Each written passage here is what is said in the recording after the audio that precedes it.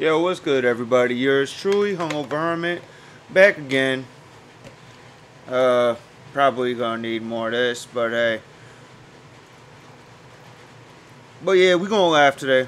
We gonna laugh today. Times tough. It's Friday. Still can't really go anywhere. At least not in my city. So, as you can tell, I don't really, by my unshaven appearance, I have no Friday night plans. But doing this, YouTube. Cheers.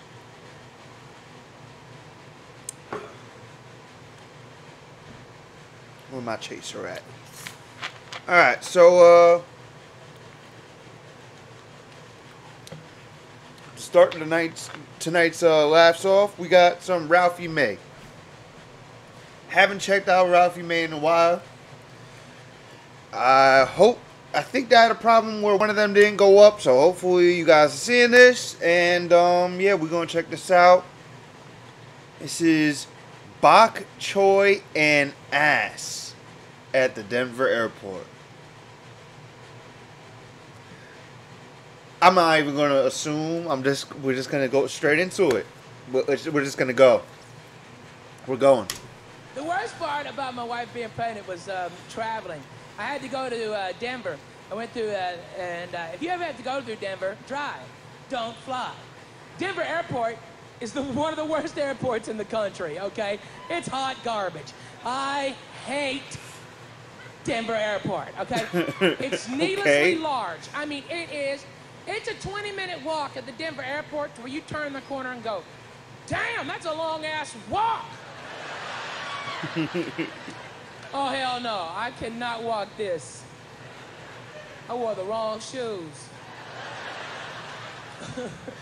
you need some cross trainers in Denver Airport, Jack. I'm fat. I wore slip on so I didn't have to bend over at security. Fat guys know what I'm talking about. They're like, uh, blister or bending over? Take the blister.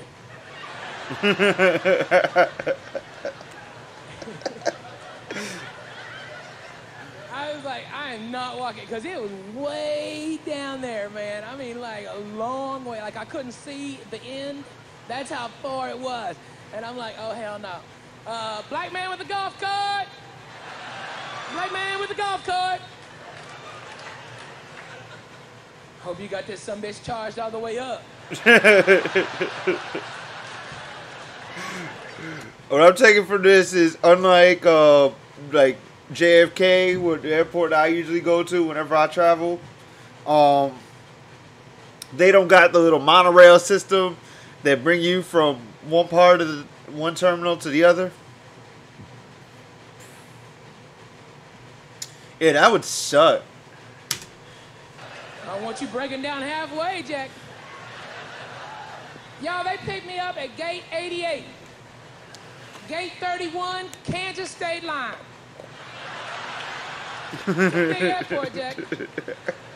Okay, they drop you off at this escalator because you got to take the escalator down to a train to take another escalator up to baggage claim, okay? Way away, apparently. And I was unprepared for how high this escalator was, okay?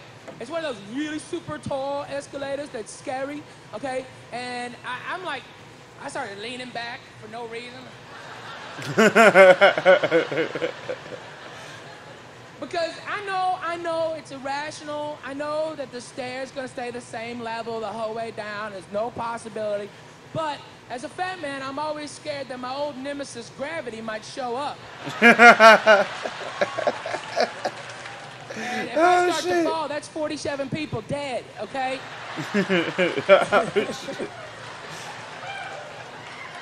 Forty-seven. I'm trying to save your life. Think about that. Why forty-seven? I'm a little superstitious though. Uh, when we got down to the bottom, and by the way, it started to get warmer on the way down. I was like, y'all smell sulfur? Repent! Repent! Okay. At the bottom, it's a, uh, there's a, uh, uh, there's the train, right? Uh, for me, I always like to get on the last car of the train and get in the back bench, okay? I like to sit down on the bench because I'm fat and I want to keep this much mass low, okay? In case they hit the brake hard. You know, I don't trust that little handle. That's all I'm saying. I don't trust that little handle. That can't stop the kid, okay?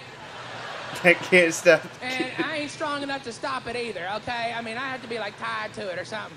I mean I would try. I would try to save your life. Okay, but all you could get was like, oh, that's all I could do. I swear to God, that's it. Oh, Oh if you shit! hear a, oh on a train at the airport, you better look out, son. Kill seven people, get a nine-year-old stuck in my belly button. Hey, help, help, help, help, help. I want the red Power Ranger. Help, help.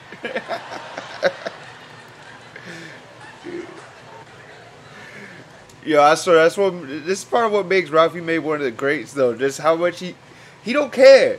He don't care. He will he will make fun of himself. He'll make fun of other people. He don't care. All the best comedians are the ones that don't care. And so I'm sitting on the back bench and I'm thinking, you know, okay, all right, I'm on the back bench. I got the whole train to myself. It's awesome, okay? And just about the doors about to close, 40 Chinese nationals came on the train with me. Now, Oh, let me preface this before I move any further. These were Chinese nationals. They're not your Chinese from San Francisco or around here, your Best Buy Chinese. These were bona fide Chinese Chinese. Spock haircut and all. Spock haircut. Now, I'm not talking about anybody else out there that might be of Chinese descent. I don't know you. I also uh, can't speak for uh, everyone in China or the territories they occupy. I'm just talking about these 40 people that I interacted with in Denver Airport. They were the stinkiest, nastiest people I've ever met in my life. You don't know, you weren't there, okay? First of all, the whole train smells like bok choy and ass, okay? It's That's where it starts. That's where it starts.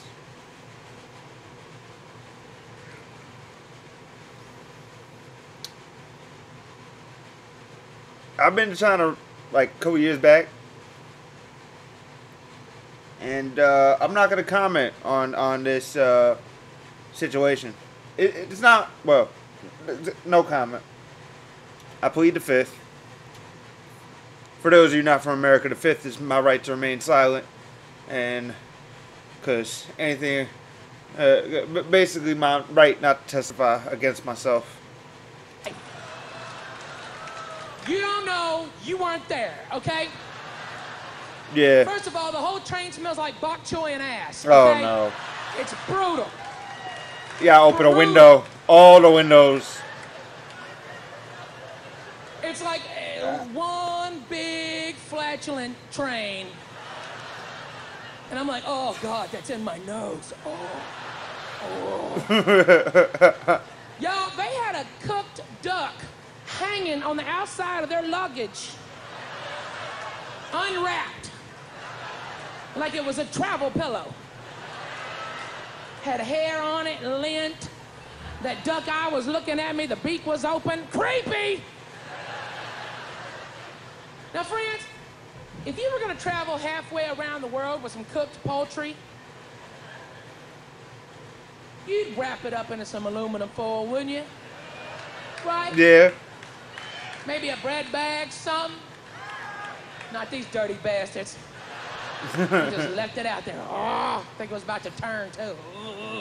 So I got that nasty duck smell. I got bok choy and ass rock in their house.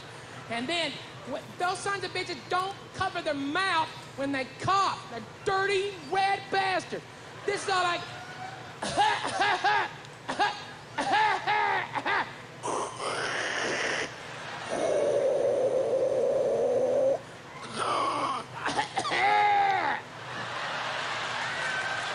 Yeah. Coughing.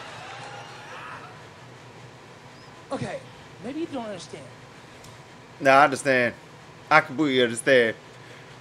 Uh, one one of the times I was in China. Okay. And um, I'll say skip ahead about a minute if your stomach is easily bothered.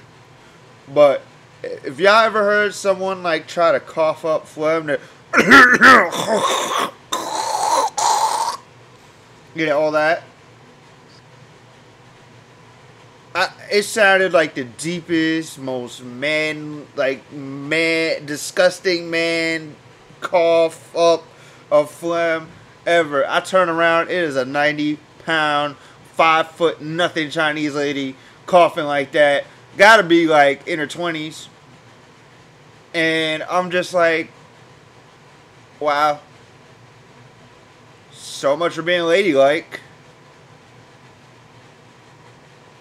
By the, every, by the way, everyone out there, uh, they, they, they smoke.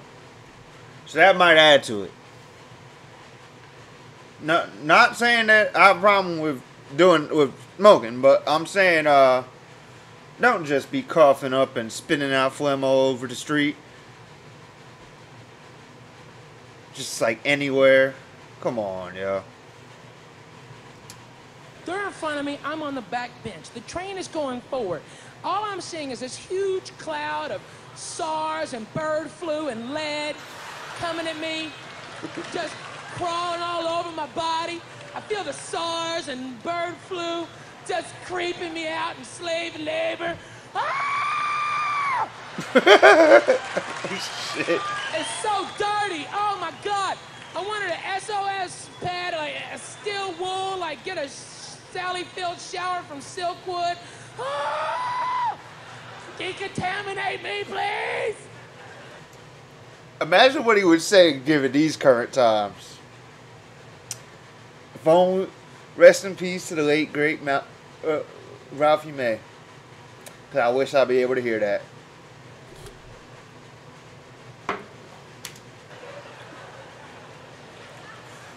Creepiest things ever happened to me. They were talking China talk, okay? What? Look, I don't know. I don't know how you are. I don't know the difference between Mandarin and Cantonese. I don't. I don't know. But I do know that I own uh, Crouching Tiger, Hidden Dragon on DVD, and I can recognize some damn China talk when I hear it. so they was talking China talk, right? And uh, the same coffee, all right, it- you know, you know, it's weird, you know, ugh, of coffee. He he, something came out of his mouth, hit another Chinaman in the face, and all that other Chinaman did was this.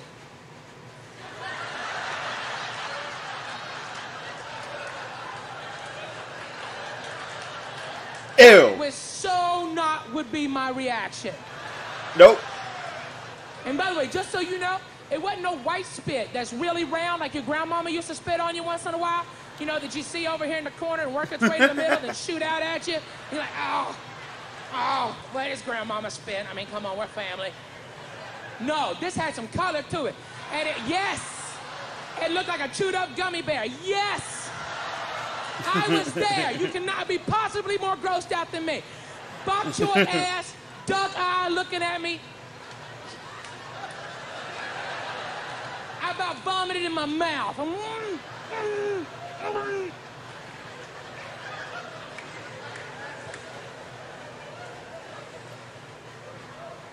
All he did was. That's how it went down. It was like.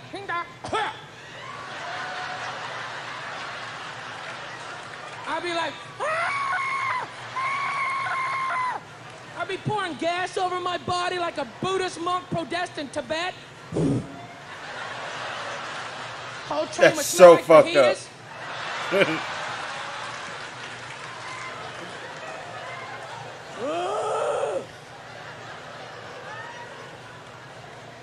Dirty bird fluey mother. Finally, the train pulls into the station. We get off the Tuberculosis Express. right there, I Oh, would have paid shit. three hundred dollars for a Purell shower. Just bathe me in Purell. Woo!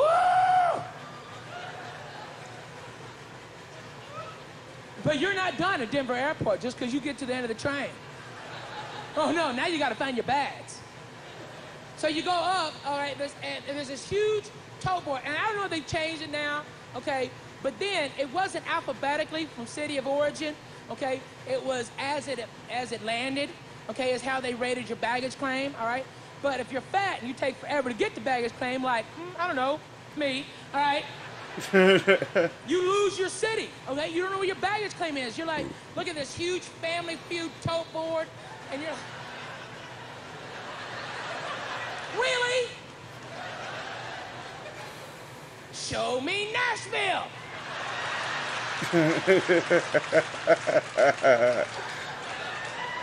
All right. Baggage claim 92. Where am I at? Six.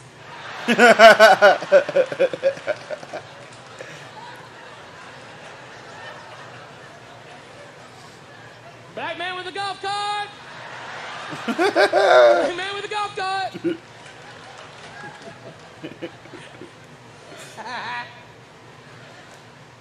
Oh, that was amazing. Oh, that was amazing. All right.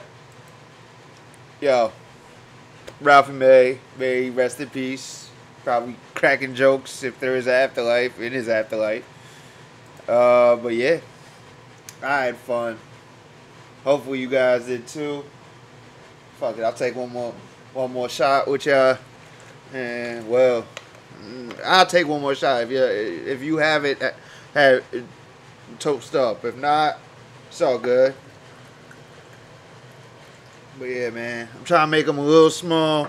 Well, not even small because that's a big shot glass. But I'm about to run out of vodka, and that's that's depressing.